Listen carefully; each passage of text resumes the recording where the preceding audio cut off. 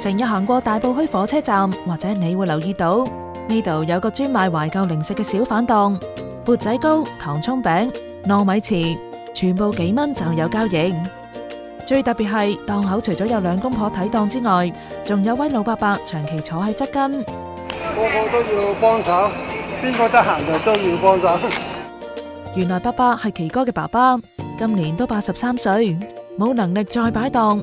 不過政府有規定小販牌唔可以由阿仔承继，佢就唯有日日坐喺檔口側跟，等奇哥可以繼續合法擺檔。正常我睇檔嘛，咪所有嘅嘢，老人家咪盡量俾佢少做啲咯。个个持牌人都七八十啦，攬嚟都過得幾年後，剩翻幾多個啦？呢個社會嘅特色啊，各方面嘅嘢，傳統嘅嘢係冇噶啦，銷聲匿跡㗎，到時都。如果真係做唔到嘅，咁啊冇辦法啦。而家最主要啊老人家幫到手咯。佢如果佢幫唔到手，政府唔發牌俾我哋，咁我哋都想做都做唔嚟啦。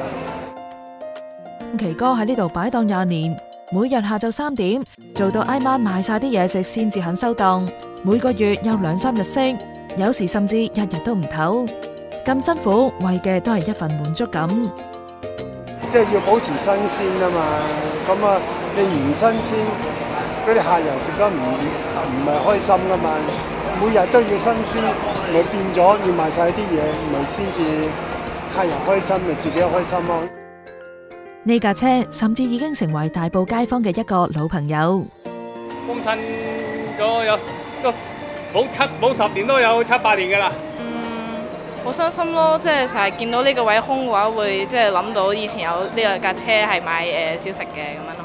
可能第時買唔到缽仔糕啊、葱油餅嗰啲咯，咁啊有啲可惜。冇計嘅呢啲，政府要收翻啦。我我聽講咗。